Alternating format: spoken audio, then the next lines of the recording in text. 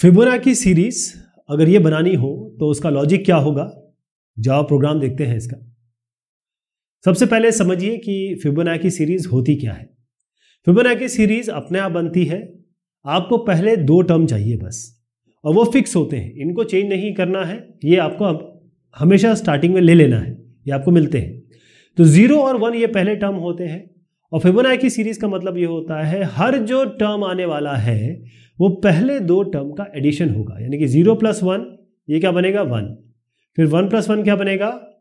To फिर one plus two क्या बनेगा? थ्री फिर टू प्लस थ्री क्या बनेगा? फाइव ऐसे ही चलता चला जाएगा। तो क्या क्या चीज़ दी जाएगी आपको? पहले तो कितने टर्म तक आपको चलाना है? पहला ये चीज़ दी जाएगी। आपको ज़ीरो और वन ये फिक्स है, यानी कि अगर आप इसको मान लीजिए टी वन लेते हैं तो ये ज़ीरो हो जाएगा। टी टू आप लेते हैं तो ये वन हो जाएगा। फिर आप सम ले लीजिए या कोई कोई भी जिसमें रखना चाहें, इस सम में आपको रखना है ये T one plus T two तो अगर आपने इसको टी वन लिया है, ये टी टू है तो ये सम हो जाएगा।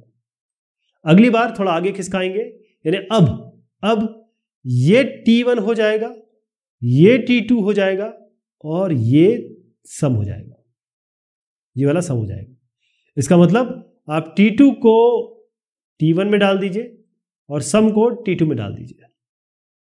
हर बार ये करना है आपको। और finally sum equal to T one plus T two और सम को प्रिंट करा दीजिए।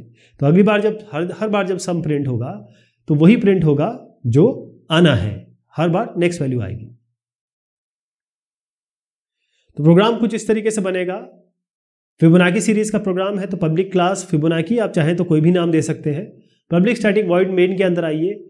आपको यह बताया जाएगा कि कितने नंबर तक आपको ये फिबोनाकी सीरीज़ चलानी है? अगर आप ये यूज़र से एंटर कराना चाहें तो करा लें, नहीं तो N equal to N equal to ten इस तरीके से इनिशियलाइज कर सकते हैं। जैसे मैंने बताया आपको टी वन आप ज़ीरो ये हमेशा वही रहेगा T two equal to one ये ज़ीरो और वन इसके फिक्स टर्म होते हैं। और इसके बाद आप प्रिंट कराना चाहें, जैसे इस तरीके से कराना चाहें तो आप पहले लिख दीजिए कि फ़र्स्ट एन टर्म्स तो वो यहाँ पर आ जाएँगे। और ये प्लस कैसे आएगा, मैं आपको बताता हूँ। वन से लेकर एन तक चलाएँगे, ये फॉर का लूप चला है I equal to one I less than equal to N I plus plus I यानी एक से लेकर आपको इस दस तक चलाना है, जहाँ तक आपको फिबोनाकी सीरीज़ चलानी है तो वन से लेकर दस तक यहाँ पर चलाएँगे। और उसके बाद आप चाहे तो ये प्लस साइन जोड़ने के लिए print dot out dot print मतलब system dot out dot print ये प्लस दे सकते हैं यहाँ पर।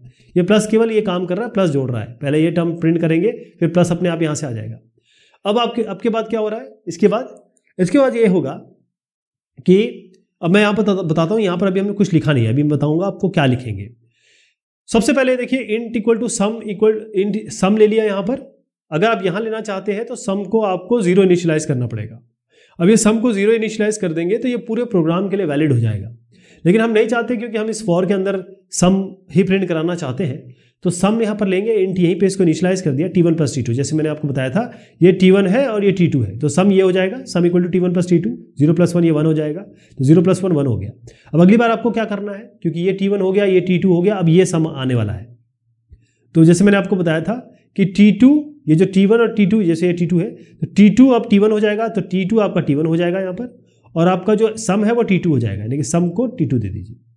और फिर यहाँ पर सम प्रिंट करा दीजिए। तो ये दस बार लूप चलेगा, हर बार ये आगे आगे खिसकेगा, खिस, खिसकने का मतलब आपने बेसिकली असाइनमेंट कर रहे हैं कि ये जो नेक्स्ट टर्म जो आ रहे हैं, वो आप असाइनमेंट कर रहे हैं और हर बार इस सम को प्रिंट करा दे रहे हैं। तो इस तरीके से फिबुना की सीरीज़ प्रिंट हो जाएगी।